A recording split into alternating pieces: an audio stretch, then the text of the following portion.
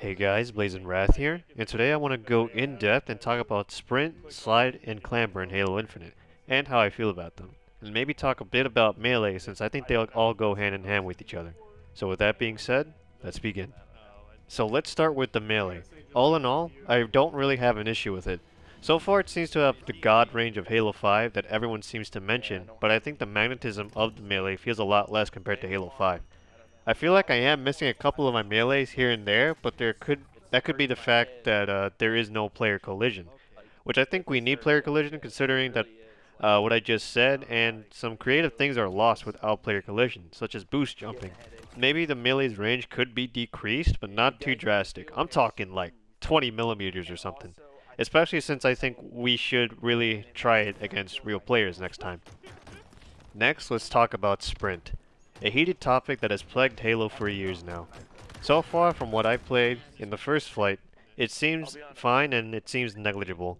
Someone in the community did the math, and according to that person, the difference between base movement speed and sprint speed is around 8 point something percent, which is probably the slowest sprint speed we've had in the series. So it really begs the question if it's really worth having in the first place. It's like sprint, slide, and clamber are only here at this point just to please the people who like those mechanics and for those out people outside the Halo community. I could make the argument where we might as well turn off sprint and just increase the base movement speed by 10%, which would be more than the sprint speed itself, and call it a day. But I also could see people make the argument saying, well, the point of sprint is to slide, and it's like, okay, how much merit does that hold? Because to me, sliding is whatever and it's just cool to do.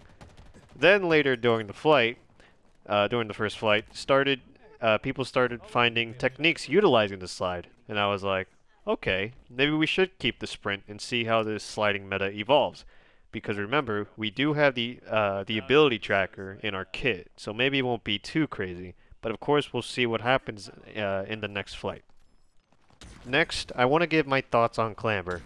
Something I already like and is that you don't need to clamber every single goddamn ledge you see. Because Jesus Christ, Halo 5 was was such a clamber fast and, uh, and there was just too many places to clamber. And I know people are gonna tell me to get good and learn to spring jump.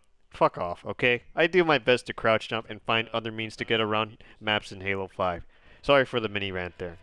One thing I don't uh, like about Clamber is that it feels inconsistent, and I think I know why. I think it's because you now have to hold forward on a ledge and then clamber to climb over. I think maybe the input for clamber should revert back to just pressing the A button. It was consistent and easy to do. Also, a side note, I'm not sure if crouching and then clambering extends your clamber height anymore. I tried testing this and I wasn't sure if that technique was removed or not at all. But anyways, that's all I have to say about clamber. Alright guys, so those are my quick thoughts on Halo Infinite's overall movement and melee. Like I said, I'd probably I'd probably prefer removing sprint and just increase the base movement speed by 10%. But I am willing to keep sprint just to see how the sliding meta evolves. Who knows, maybe some long-time pros could try no sprint in their competitive settings and there wouldn't be a need for a radar either because there shouldn't be a radar in competitive settings in the first place anyways. But that's going to be it for today's video. Hope you guys enjoyed. If you agree what I had to say, leave a like, and share this video around with anyone who's hyped for Halo Infinite. So until next time, peace.